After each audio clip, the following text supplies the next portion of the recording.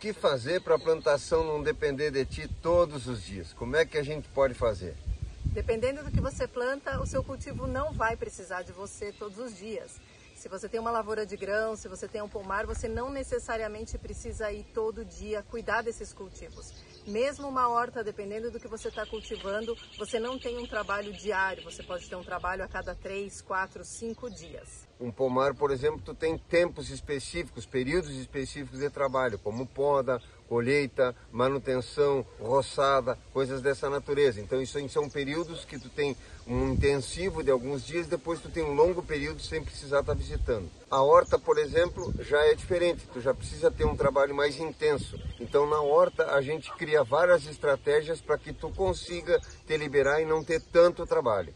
O atendimento da horta também depende do que você coloca nela e da fase da horta. Quando você está produzindo mudas, transplantando, naquele cuidado inicial do pegamento da planta, você precisa de um trabalho mais intensivo. Dependendo do tubérculo que você está colocando, inhame que tem aqui, por exemplo, do da frutífera, um morango, você também não precisa de um trabalho tão intensivo depois que eles já estão estabelecidos. Uma outra coisa que faz diferença no trabalho que você vai ter ou não é a rusticidade dessas plantas. Quanto mais rústicas elas forem, mais elas se cuidam sozinhas. Quanto mais delicadas, mais elas precisam da sua atenção. Outra coisa que precisa de um atendimento mais diário são as sementeiras, porque as sementes estão acabando de germinar ou estão por germinar e elas não podem ficar sem água. Essas precisam de regras diárias. O que a gente faz? Você pode colocar as bandejas onde estão as sementeiras, colocar um plástico, fazer um ambiente onde tem água por baixo e aí então o que, que acontece? Tu não precisa estar aguando, a água está entrando por baixo disso, então tu pode criar uma situação onde tu tem uma pequena estrutura que fique úmida e aí essa bandeja recebe água por baixo. Essa é uma técnica que a gente usa para não ter que estar irrigando as sementeiras todos os dias. Outra coisa no campo da irrigação, para ti não ter que estar irrigando toda hora, é a questão de automação da irrigação. Tem vários sistemas que tu pode automatizar para não ter que estar tá ligando e desligando. Às vezes a pessoa viaja ou não pode estar tá no fim de semana ou qualquer coisa assim, ela tem como automatizar. Aí tem alguns sistemas interessantes. Esse aqui é um sistema de automação mecânico, é um timer mecânico. A água passa por aqui, eu vou colocar quanto uhum. tempo eu quero que fique ligado e ele vai começar a rodar. Quando ele concluir o tempo que tu colocou, a água para de passar. Então ele é totalmente mecânico. A mangueira vai entrar aqui e vai sair por ali certo? Isso aqui são para sistemas que não são tão grandes, porque são para mangueiras mais finas, para hortas menores. Depois tu tem um outro sistema de automação que ele vai ligar e desligar o motor que está ligando para a horta. Aqui eu posso colocar 15 minutos, uma hora, uma hora e 15, enfim, eu posso determinar que a horta vai ser irrigada, por exemplo, às 8 da noite, das 8 até as 9, das 8 até as 10, eu posso regular isso, deixo ligado na bomba. Ele vai ligar e desligar todos os dias naquele momento. Então isso aqui também te deixa liberado para estar tá fazendo a irrigação. Uma outra coisa simples que você pode fazer se tiver um pequeno espaço é encher uma ou mais garrafas de água e virar essa garrafa com a boca para baixo em cima do canteiro e essa água vai derramar de forma lenta. À medida que o canteiro vai secando, a água vai descendo. Eu não aconselho fazer um furo porque senão a água derrama muito rápido, desce muito rápido porque começa a entrar ar. Então você pode fazer essa estratégia, vai aguentar uns bons dias.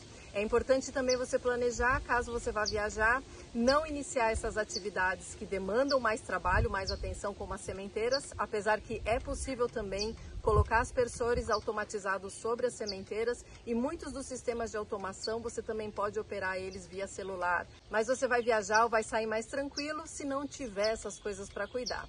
Caso você queira de qualquer maneira manter todo o sistema funcionando, você pode lançar mão desses sistemas de automação. Quando você voltar, o máximo que vai acontecer é talvez ter alguma coisa mais crescida que você podia ter capinado antes, mas não tem um grande prejuízo em você deixar as lavouras quando você for viajar, se você tiver um bom planejamento. Outra coisa que vai acontecer na horta se tu viaja é que pode crescer plantas indesejadas. Aí o que que tu vai fazer? Tu pode fazer cobertura com serragem, com folha seca, cobertura com papel, cobertura com papelão. Esses materiais todos tu vai cobrir o canteiro e com isso tu vai evitar que tenha plantas indesejadas. Aí tu não vai ter essa preocupação também. Então tu regula um programa para ter uma água, para poder fazer uma irrigação automatizada e tu cobre os canteiros com material seco. Isso vai ter, resolver dois problemas. Um, a falta de água e outro, a questão da capina, quando tu voltar depois, não ter capina. É claro que tudo isso depende de quanto tempo você vai deixar os seus cultivos. Mas tem muitas estratégias para te liberar desse trabalho e você deixar os seus cultivos desatendidos por mais tempo. São pequenas coisas que trazem grandes resultados. A gente usa essas técnicas aqui e funciona super bem.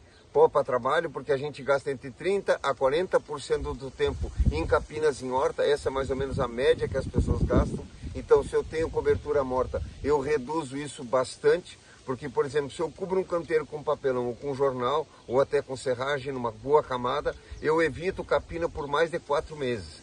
Cinco meses, às vezes, às vezes até mais, no caso do papelão, por exemplo. Então isso aí tudo me poupou um tempo de trabalho gigante. Se eu automatizo a irrigação, outra coisa, eu já não preciso estar preocupado com aquilo e eu posso automatizar para que irrigue exatamente no momento que eu quero. Aí não tem o perigo de esquecer também. Então tem várias coisas que tu pode fazer para melhorar e reduzir muito o trabalho na horta. Se a pessoa viaja, aquilo segue funcionando normalmente. Essas são estratégias que a gente usa quando vai viajar.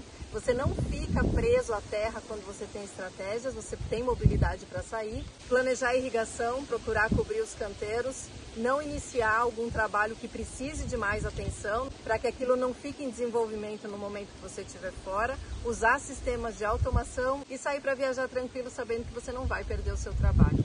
Você pode se inscrever no nosso canal aqui no YouTube, ativar as notificações e acompanhar o nosso trabalho. A gente está sempre compartilhando informações sobre como bem viver no campo, plantar alimento orgânico e saudável e uma série de práticas e conceitos para a gente viver bem melhor em harmonia com a natureza.